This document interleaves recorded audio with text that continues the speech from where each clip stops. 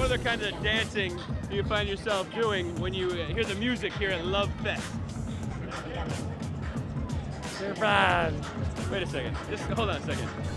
Are you drunk? I am, I am. Would you like to, as a service to you, would you like to know how drunk you are? Because I have a, I have a breathalyzer Sure. with me. One 1,000, two 1,000, three 1,000, four 1,000. What do we got? What's the verdict, Doc?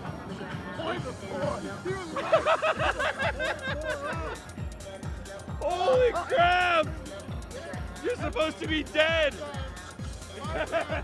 I'm Italian. Look at that! Can you describe for us the branches of government, please? They suck. I'd like to present you with this Oh yeah. because you uh, you pretty much broke our breathalyzer.